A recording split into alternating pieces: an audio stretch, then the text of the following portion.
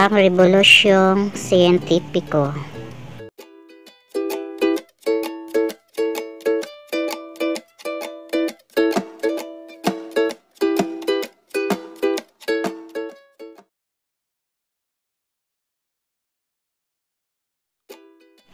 Bibigyang kahulugan natin ngayon ang salitang Rebolusyong Siyentipiko.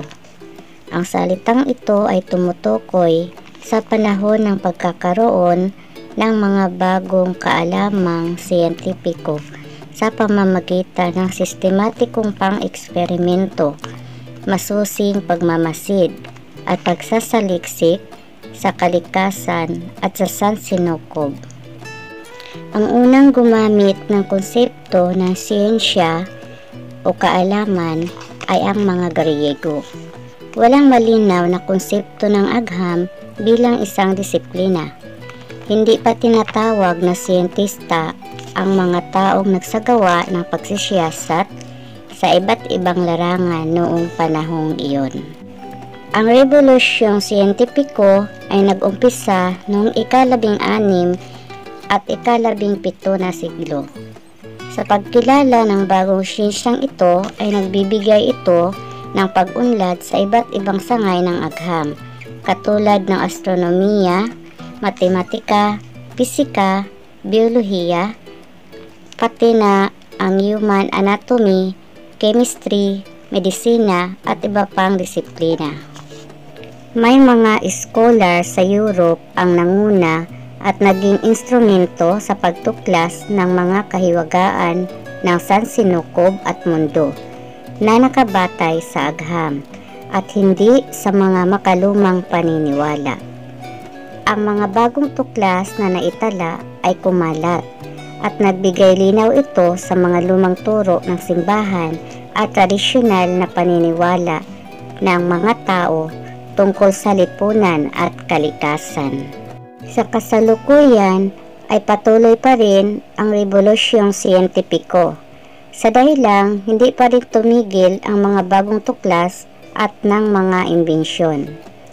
Sa katunayan, may ilang personalidad na kasalukuyan nagsaliksik ng epektibong gamot, panlunas o bakuna laban sa COVID-19 na kinakaharap ng buong mundo sa ngayon. Ang nagpasimula ng panahon ng revolusyong siyentipiko ay ang mga tuklas at ambag ng mga mahalagang tao sa larangan ng astronomiya.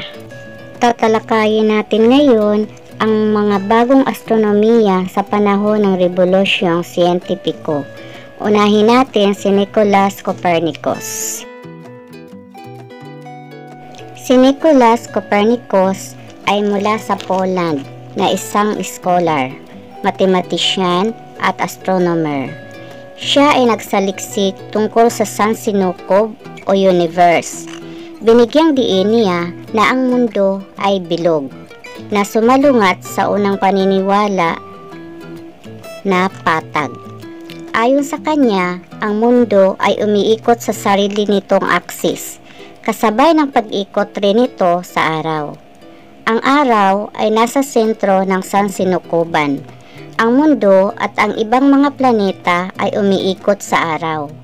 Ang teoryang ito ay nakilala bilang teoryang heliocentric. Sumasalungat ito sa turo ng simbahan na ang mundo ang sentro ng sansinukob o ang geocentric model na nakabatay sa teorya ng sinaunang astronomong si Ptolemy.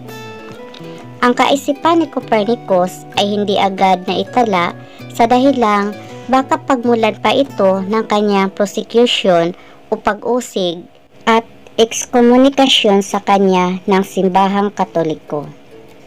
Naisulat lamang ito sa aklat niya na On the Revolution of Celestial Spheres noong 1543 bago siya nasawi. Ang teorya niya ang naging basihan ngayon ng masusing pagsaliksik sa astronomiya at nagpasimula ng panahon ng Rebolusyong Siyentipiko.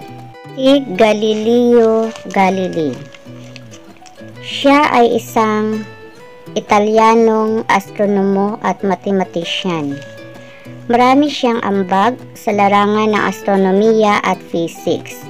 Dahil nga sa pag-aaral niya sa law of motion, inertia, at ang pagbibigay diin sa paggamit ng eksperimento bilang wastong paraan sa pagtuklas ng katotohanan tungkol sa mga batas ng kalikasan. Napag-alaman niya na may isang instrumento sa bansang Netherlands na maaaring gamitin upang makita ang isang malayong bagay na parang malapit lamang. Natutunan niya dito ang sekreto at gumawa na siya ng mas maunlad na disenyo ng teleskopyo. Gamit ang teleskopyo, naobserbahan niya ang kalawakan, katulad ng nakita niya na magaspang ang ibabaw ng buwan. Naobserbahan niya ang phases ng buwan gayon din ang Venus. Na-discover din niya ang mga buwan ng Jupiter. Napatunayan din niyang mas marami pang bituin sa kalawakan kaysa nakikita ng ating mga mata. Sa natuklasang ito, mas pinaniniwalaan at pinatutuhanan ni Galileo ang teoryang heliocentric ni Copernicus. Isinalang siya sa isang inquisition o paglilitis ng mga pinuno ng simbahan dahil sa kanyang mga aklat na dialogue concerning the two chief world system, Ptolemaic and Copernican, na sumuporta sa teorya ni Copernicus. Dahil dito, napilitan siyang bawiin ang ilang resulta ng kanyang mga pag-aaral. Ngunit nagpatuloy pa rin siya sa pagsasagawa ng siyentipikong pagtuklas hanggang siya ay binawian ng buhay noong ika-walo ng Enero 1642. Johannes o Johannes Kepler isang Aleman na magaling ring astronomo at mathematician. Siya ang nakabuo ng mathematical formula at calculation tungkol sa laws of planetary motion. Mag-aaral siya ng astronomong si Tycho Brahe. Gamit ang mga nakalap niyang obserbasyon ni Brahe sa kalawakan at mga planeta, particular ang Mars, Gumuhit si Kepler ng geometrical na relasyon ng araw at Mars sa iba't ibang posisyon nito sa orbit. Taong 1602, sabi niya, ang mga planeta ay di pare-pareho sa bilis ng kanilang paggalaw. Dahil mabilis ang kanilang paggalaw, kung ito ay papalapit sa araw at mabagal kung ito ay papalayo. Ito ang ikalawang batas ng paggalaw ng mga planeta.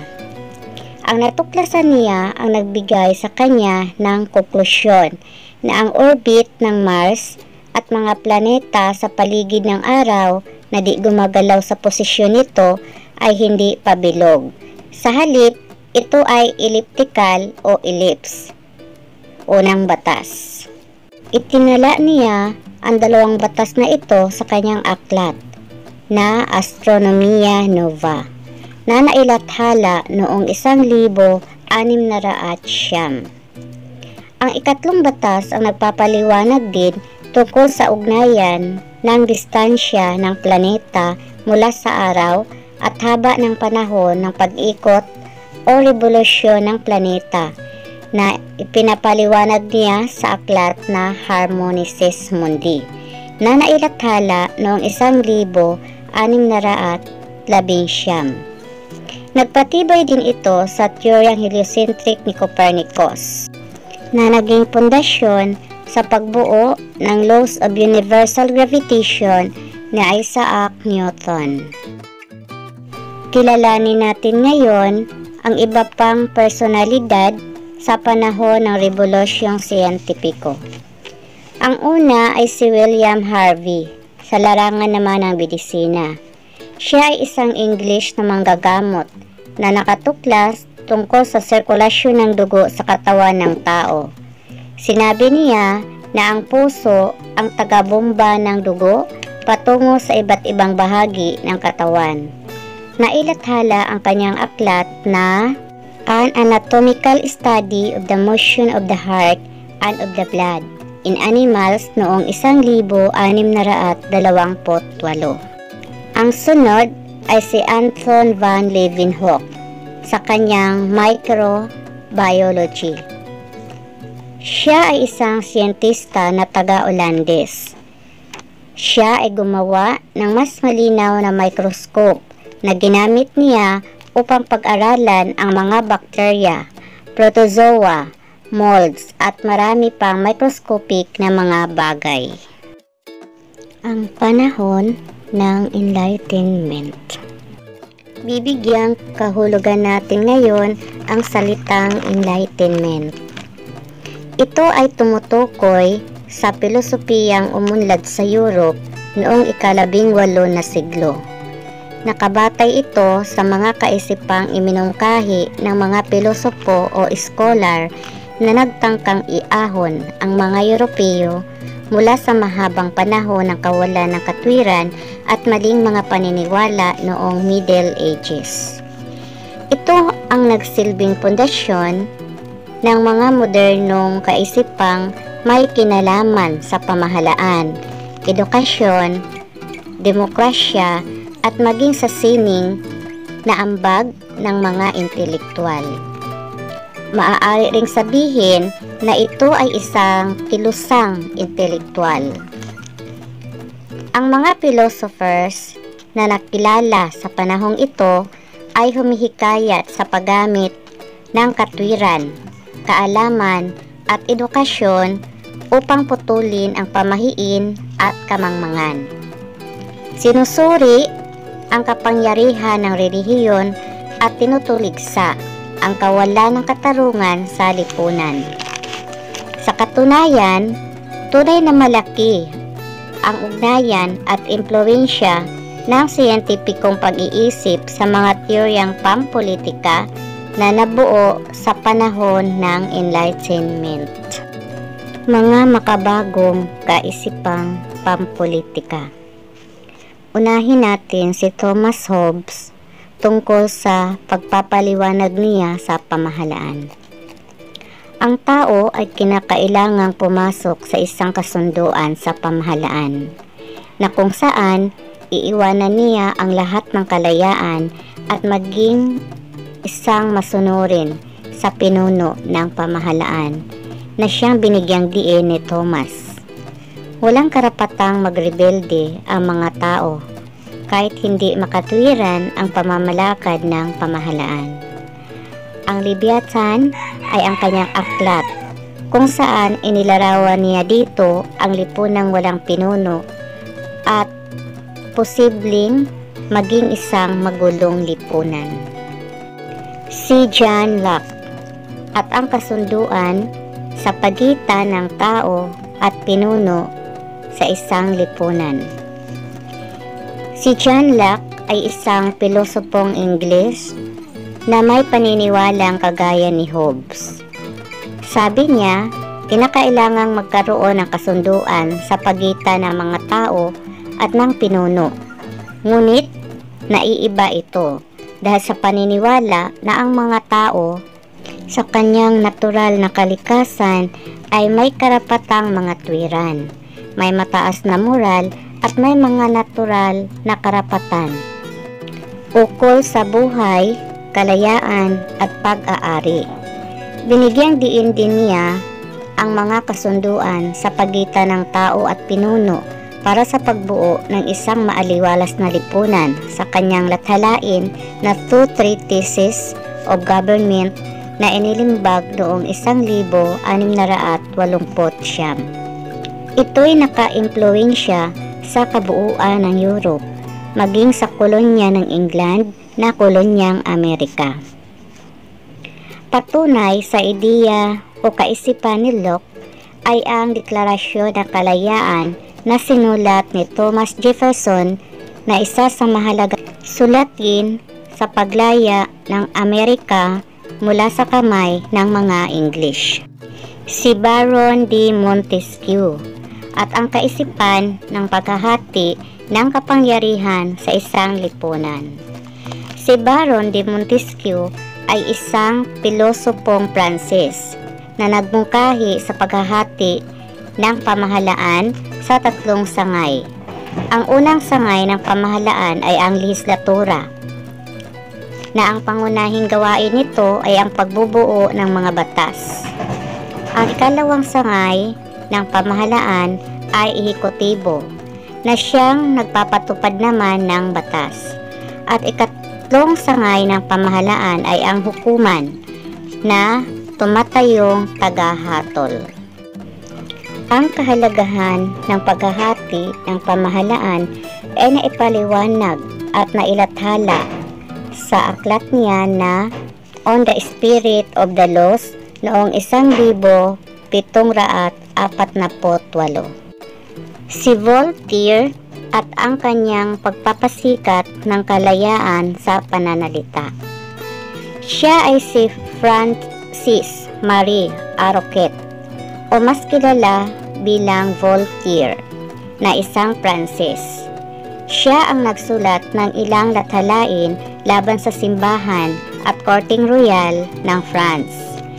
Dito sinalungat niya ang lubos o absolutong monarkiya na madalas niyang tuligsain ang aristokrasyang ito sa France. Dahil dito, nakulong siya ng dalawang beses at nang lumaon, siya ipinatapon sa Inglaterra Pinagpatuloy niya doon ang pagsusulat habang siya ay nasa kulungan ay patuloy rin niyang binigyan ng pagpapahalaga ang filosofiya ni Francis Bacon at siyensya ni Isaac Newton. Si Jane Jacques Rousseau at ang kanyang kaisipan tungkol sa demokrasyang pamahalaan. Si Jane Jacques Rousseau ay isang French na pilosopo.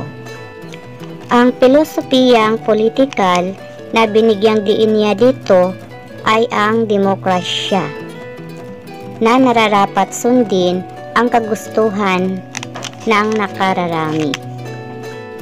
Nakapaloob ito sa kanyang aklat na The Social Contract. Iminungkahi niya dito na ang ideal at magandang pamahalaan ay nakabatay sa kontratang pandipunan kung saan hindi pinuno ang may lubos na kapangyarihan dito. May tuwirang demokrasya ang mga miyembro kung sila ay boboto at ang kagustuhan nila ang dapat masunod sa pamahalaan. Bibigyang kahulugan natin muna ang salitang demokrasya. Ang kahulugan ng salitang demokrasya, ito ay uri ng pamahalaan kung saan nagmumula ang kapangyarihan sa mga mamamayan ng isang bansa. Karagdagang kaalaman tungkol kay Jane Jacques Rousseau. Ang iba, ang pagbasa niyang Jane na yan ay Sean. Sean Jacques Rousseau. Si Sean Jacques Rousseau ay iba sa lahat ng mga pilosopong nabuhay noong panahon ng kamulatan. Dahil siya ay hindi kabilang sa maimpluwensyang tao sa lipunan. Pagkagayon pa man, ang filosofiya niya ay niyakap ng lahat ng klase ng tao. Sa katunayan, ang kanyang akdang The Social Contract o kasunduan ng lipunan ay nailimbag noong 1762. Ang nilalaman ng kanyang akda ay ang pagbibigay diin niya sa kanyang paniniwala. Nararapat ang kabutihan ng komunidad ay nakabatay sa interes ng bawat individual ng isang bansa. Aalamin natin ngayon ang mga pagbabagong panlipunan sanhi ng Enlightenment o kaliwanagan. Ang unang pagbabago ay ang pagkakaroon ng grupo ng pagkamakatao o humanitarianismo. Ipapakilala ko dito si Cesar o si Sari Vicaria o Vicaria. Siya ay isang Italianong horado, ekonomista at kriminologo na bumatikos sa hindi makataong paraan sa pagparusa sa mga nagkakasala o kriminal. Sa kanyang akda na Essay on Crimes and Punishment na isinalin sa iba't ibang lingwahe sa Europa na nagpapaliwanag tungkol sa epektibong paraan upang maibsan ang kriminalidad. Nararapat na bigyan ng edukasyon at bagong buhay ang mga nakakulong na nagkakasala. Hindi dapat gamitin ang maltrato o pananakit sa kanila upang mapaamin sa mga kasalanan o paratang upang ipagpalagay na totoo at bukal ang kanilang pag-amin. Ito ang nagbibigay daan sa agham ng penolohiya. Layunin nito ang alamin ang mga pamamaraang nakabubuti sa buhay ng isang bilanggo at hindi magparusa lamang sa mga ito.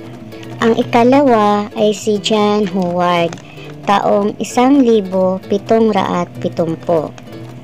Si John ay isang English na tagapagsulong ng reformang panlipunan.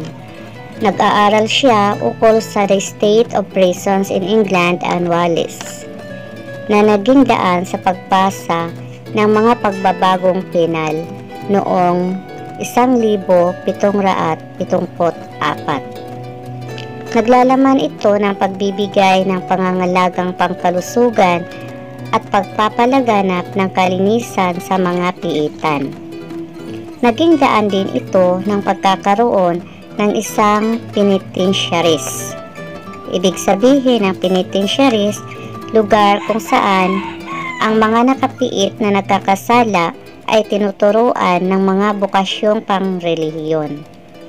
Minigyan din sila ng pangkabuhayang pagsasanay na nakatutulong sa pagpapaunlad at pagpapabuti sa kanilang sarili. Isa pa sa pagbabagong pandipunan, sanhi ng enlightenment o kamulatan ay ang feminismo. Ito ang pagkilala at pagbibigay boses sa tagumpay ng mga kababaihan sa kasaysayan. May mga kababaihang nakipagsabayan sa mga tagumpay ng mga kalalakihan sa lipunan. May ilang kababaihang Europeo ang nagpasimula ng protesta laban sa palasak na pananaw ukol sa kababaihan noong panahon ng kaliwanagan. May pangkat ng kababaihan ang nagsusulong ng kampanya sa pagkakapantay-pantay ng babae at lalaki, partikular ang karapatang makapag-aral. Aalamin natin si Mary Wollstonecraft at ang kanyang boses.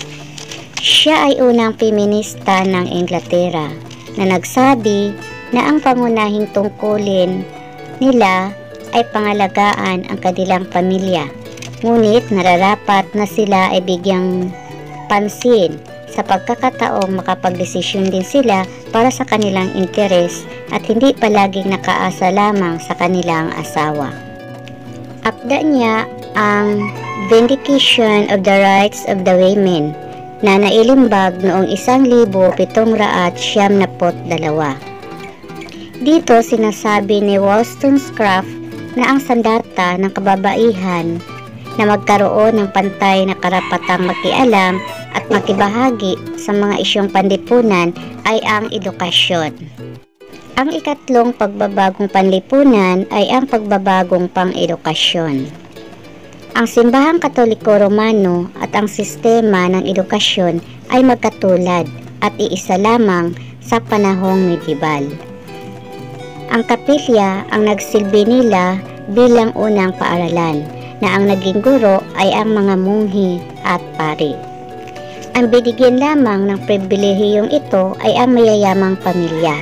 Hindi maaaring mag-aral sa kolehiyo ang kababaihan, ngunit sila ay tinuturo ang magsulat at magbasa para matuturuan din nila ang kanilang mga anak. Sa Reformasyong Protestante, sinuportahan ng mga lokal na pinuno at monarko ang pagtatag ng paaralang elementarya ng mga ito mula sa nalikom nilang mga buwis. Nagpatayo ng paaralang pangkawang gawa para sa mahihirap sina Frederick the Great ng Prussia at Catherine the Great ng Russia upang maturuan ang mga kababaihan ng mga pangunahing kasanayan sa pagsulat at pagbabasa. Pinagtuunan din nila ng pansin ang paraan ng pagtuturo sa mga paaralan na kinalaunan ay tinawag na pilosopiyang pang-edukasyon sa panahon ng kamulatan. Ang edukasyon ang itinuturing na susi sa pagbuti ng mga mamamayan sa isang lipunan na nararapat ay maibigay sa lahat ng tao ng isang bansa. Sa pagbabagong pang-edukasyon, ipapakilala ko sa inyo si Comenius ng Bohemia. Siya ang unang nagsagawa ng pilosopiyang pang-edukasyon na naniniwalang nararapat bigyang pansin at diin ang pandama, pangamoy, paningin, panlasa at pandinig ng mga kabataan upang maging magaling sa pagbabasa at makapukaw interes ito sa kanilang pag-aaral. Isinulat niya ang The Gate of Tanks and Lock na nailimbag noong 1631. Ito ay ukol sa pag-aaral ng wikang Latin at ang The Visible World and Pictures noong 1650 Isang aklat din ito na may dibuho at ilustrasyon. Layong ituro ang wikang Latin at ang salin nito sa vernacular. Ang sunod na personalidad ay si John Locke at ang kanyang filosofiyang pang-edukasyon. Akda niya ang An Essay Concerning Human Understanding taong 1660 na po. Dito itinuturing niya na ang isipan ng tao ay tabula rasa. Ang ibig sabihin nito parang isang blankong pisara na walang laman at kailangang suplayan ng guro ng iba't ibang kaalaman mula sa pinakasimple hanggang sa pinakamataas. Binigyang diin ni Locke ang unang taon ng mga bata na tinatawag niyang foundation years na pinakatamang panahon na maaaring magbigay ng edukasyon o kaalaman sa mga ito.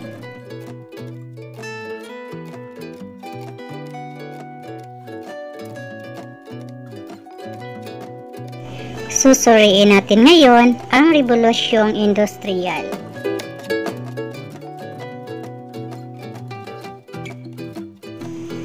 Rebolusyong Industrial ay tawag sa isang pagbabago o transformasyon kung saan nagkakaroon ng malaking pagbabago sa aspetong agrikultura at industriya sa mga bansang Europeo at United States noong taong 1700 hanggang 1,800. Dito, pinalitan ang gawaing manual sa mga kabukiran ng mga bagong imbentong makinarya na nagbigay ng mas mataas na produksyon sa mga bansa, karagdagang kita at pamilihan ng mga yaring produkto. Dahil dito, lumipat sa syudad ang mga taong nanirahan sa kabukiran upang mamasukan sa mga industriya upang magkaroon ng hanap buhay at kumita. Ang nagpasimula ng revolusyong industrial ay ang Great Britain dahil mayroon silang maraming uling o coal at iron na pangunahing kailangan sa pagpapatakbo ng mga makinarya at pabrika. Umunlad ang kanilang pakikipagkalakalan na naging sanhi ng pagkakaroon nila ng matatag na kalakalan. Ang pamahalaan ay sumuporta sa kanilang kalakalan sa pamamagitan ng pagtatayo ng malakas na sandatang pandagat upang protektahan ang kanilang imperyo. Pinasimulan ang pagbabago sa industriya ng pag-produce ng tela sa Great Britain noong 1760 na po. Ang pag-produce ng tela ay ginagawa sa tahanan sa ilalim ng sistemang domestiko o yung tinatawag na domestic system. Dito, hinati-hati ang trabaho sa mga pamilya sa kanilang lugar hanggang sila ay makabuo ng isang tapos na produkto na kanilang ipinagbibili at pinatutubuan sa mga mamumuhunang mga ngalakal. Sa ganitong sistema ng pagbubuo ng tela, sila'y gumugugol ng mataas na oras na nagresulta ng mas mataas na halaga ng tela sa pamilihan.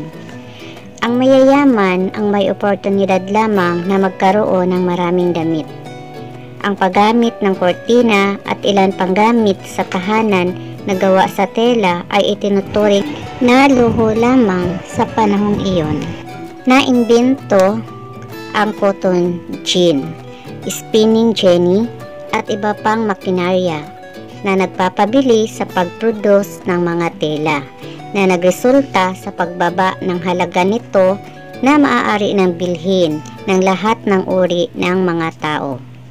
Nagsulputan din ang iba't ibang imbensyon na nakatutulong sa pag-unlad ng industriya. Gayon din ang transportasyon at komunikasyon sa buong mundo. Aalamin natin ngayon ang mga imbensyon ng Rebolusyong Industrial. Steamboat, taong 1807. Naimbento ito ni Robert Fulton ng bansang Amerika. Ito ay isang halimbawa ng sasakyang pantubig na ginagamitan ng makina at kol na nagpapabilis ng isang paglalakbay at ito naging simula ng mas maunlad na sistema ng transformasyong pandagat sa kasalukuyan. Ang spinning jenny taong 1764 Naimbento ito ni James Hargreaves ng England. Ang makinang ito ang nagpapabili sa paglalagay ng mga sinulid sa bukilya. Kaya mas pumilis ang pagproduce ng mga tela. Ang atmospheric steam engine na naimbento noong taong 1712 ni Thomas Newcomen ng bansang England. Ang imbensyong ito ang nagbibigay ng enerhiya sa pamamagitan ng singaw at ginagamit ito sa pagpapatakbo ng iba pang makinarya sa mga pabrika. Ang cotton gin na naimbento noong taong 1773 ni Ellie Whitney ng bansang Amerika ang imbensyong ito naman ang nagpapadali ng paghihiwalay ng buto at iba pang material sa bulak. Ang telepono na naimbento noong 1876 ni Alexander Graham Bell ng bansang Amerika.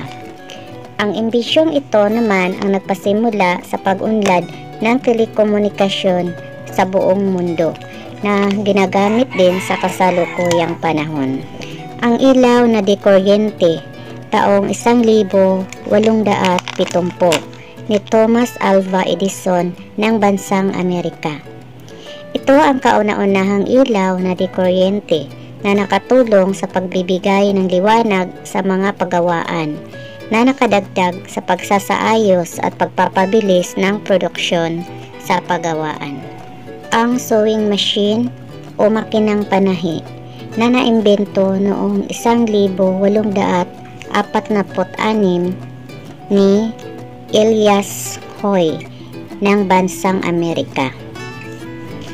Ang eroplano na naimbento taong 1903 ng magkakapatid na sina Orville and Wilbur Wright na taga-Amerika.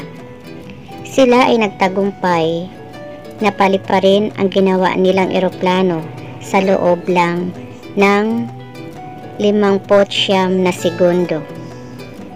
Nang isinagawa ang pagsubok nito noong Disyembre 17, 1903. Marami pang produkto ang naimbento sa panahong tinatawag nating Rebolusyong Industrial.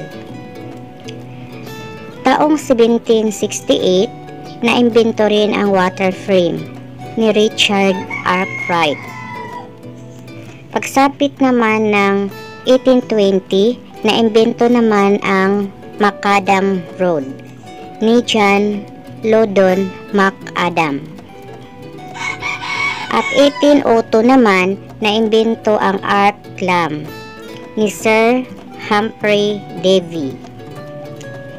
1830 naman, naimbento ang railroad locomotive ni George Stephenson.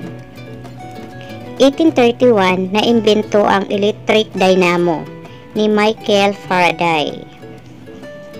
1838, naimbento ang photography ni Louis Jacques Gary. 1837, naimbento ang telegraph ni Samuel Morse.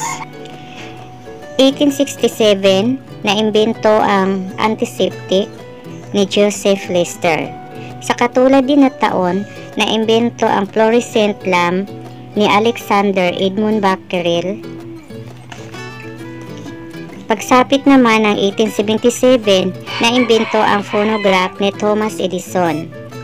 1897, naimbento rin ang electron ni Joseph John Thomson. Taong 1928, naimbento rin ang penicillin ni Alexander Fleming. Ang epekto ng industrialisasyon sa tao at maging sa bansa ang industrialismo ay ang nagpabago sa pamumuhay ng tao. Nagbigay rin ito ng maraming oportunidad sa paghahanap buhay ng mga tao. Sanhi ito ng pagdagsa ng mga taong taga-probinsya sa lungsod. Maging ang mga bata ay napilitang magtrabaho at kumita na naging dahilan sa pagtigil nito sa pag-aaral. Isa ito sa napakabigat na suliraning panlipunan at pang-ekonomiya ng ating pamahalaan. Nagdulot din ito ng alitang pampolitika. Gayon din ang pagkakaroon ng tinatawag na gitnang uri ng lipunan o middle class society. Isa pa sa naging epekto ay ang pagkakaroon ng polusyon sa ating kapaligiran hangin sanhi ng hindi maayos na operasyon ng mga pagawaan at hindi pagsunod sa patakaran ng ating pamahalaan. Nagresulta din ito ng pagtatatag ng unyon ng mga manggagawa hanggang noong kalagitnaan ng ikalabing siyam na siglo. Sa pag-unlad ng industrialisasyon, gitpang nagsikap ang mga kanduranin sa pananakop ng mga kolonya ito ay dahil sa pangangailangan nila ng mga hilaw na materyales na maibibigay ng mga kolonya na nagsilbing pamilihan ng kanilang nabuong mga produkto.